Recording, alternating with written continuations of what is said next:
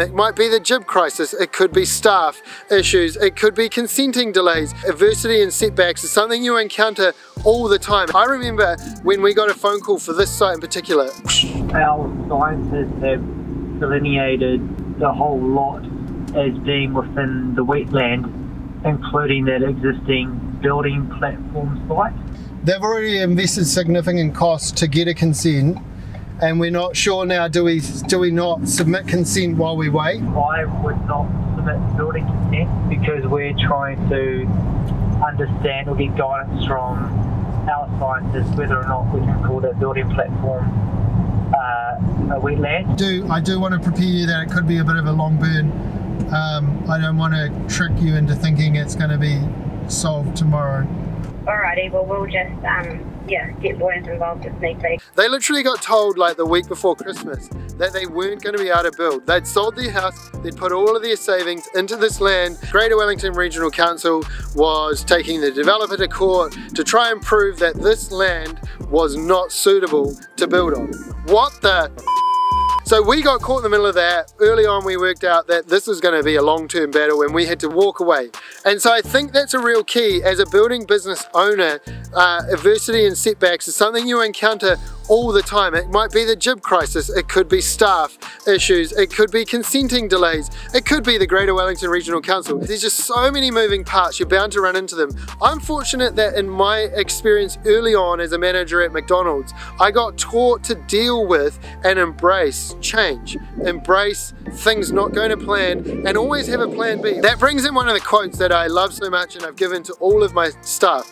Blessed are the flexible, for they shall not be bent out of shape. I could sit here and I could be like, man, that sucks. I was planning to send the guys there. What are we gonna do? Like, nah, we have to build. Or I could just be like, whoa, wasn't expecting that. Fortunately, these things just have a habit of working themselves out. And by not getting overly stressed about it, we've taken on a bunch of other jobs, we've filled those gaps. And now this is starting at a time that's actually great for us as some of our other jobs have had insane delays with resource consents. This one's come along and it's ready to go. And I think that just shows like as a building business owner, you've not only got to deal with adversity and setbacks, but you've, you've got to juggle a couple of things on the go or you've got to expect that they're not all going to go to plan. They're not all going to be easy. Some of them aren't even going to start. You've got to kind of put it out there with a bunch of things and see what comes back to you and then work that timeline out as it comes back in. Now naturally I am actually a kind of person that tends to overthink things and I do then lie in bed awake at night thinking like crap. And it's real easy to catastrophize in your mind all of those things. I think one of the things I do when I start feeling like that is even if it's the middle of the night, I get up and I get a pen and paper out and I write down the facts. Let's stick to the facts. Well, and now I've got a six month hold. What can I do about that? Well, I can bring a couple of designers and architects. I can put a Facebook post up. I can actually go through my inbox and chase some of those leads where before I was a little bit overwhelmed, I can get a little bit more proactive with that stuff. You can choose to take it as a blessing or you can choose to take it as a setback. Often, yes, it's a game changer. It's not really going to be game over.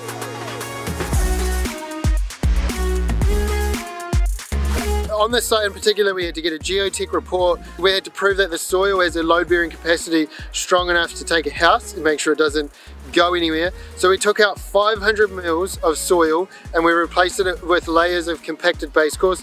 We've had the 14 ton digger here, we've had the roller. Mike has made it flat, mint, ready to build on.